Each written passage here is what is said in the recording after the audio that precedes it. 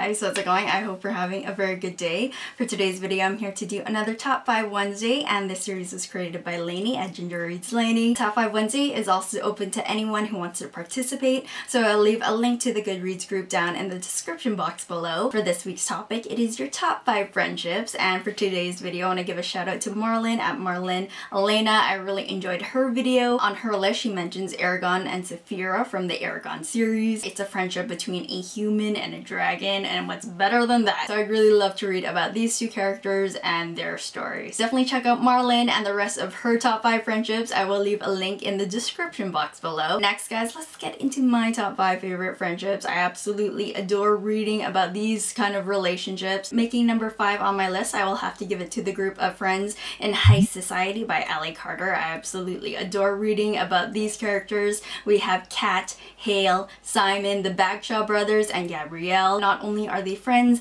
they are a team. They perform jobs all over the world. They definitely are thick as thieves. Ally Carter, if you're watching, I'd absolutely love to read a prequel of these characters and how they became a team and all the jobs they performed in the early years. So I think that would be a lot of fun. Making number four on my list, I will have to give it to Todd and Manchee from The Knife of Never Letting Go. They were amazing. This is a relationship between a boy and his dog.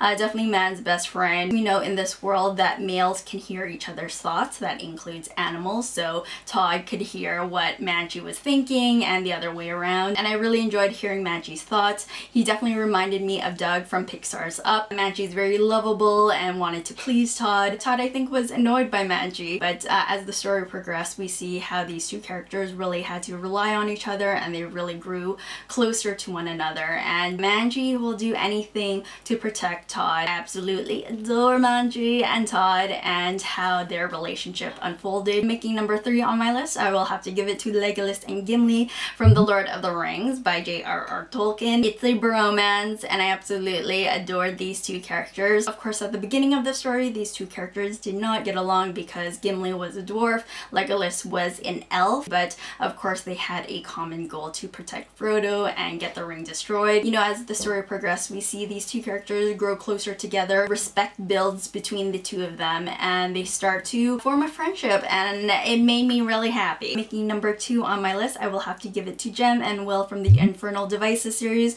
by Cassandra Clare. You know, another bromance I absolutely adore watching, reading them. I think it's all the sports anime I've been watching. Jem and Will are parabatai. Their bond is stronger than brothers. Even though they have very different personalities, they complement each other very well. They will sacrifice their own happiness for the other. I think this relationship, this friendship is executed quite well within uh, Cassandra Clare's world. And lastly guys, making number one on my list, I will have to give it to Harry, Hermione, and Ron from the Harry Potter series. Of course, you know, I absolutely adored these three. Each of these characters had different strengths and different weaknesses. And so together they were definitely a force to be reckoned with. So those are my top five friendships, guys. Let me know in the comments below what friendships you adore. Yes, I totally envy these friendships. My favorite kinds of friendships are those where you're able to annoy the hell out of each other but still keep the love. I absolutely adore that. Anyways guys, I hope you enjoyed this video. I will talk to you later and have a very good one. Bye.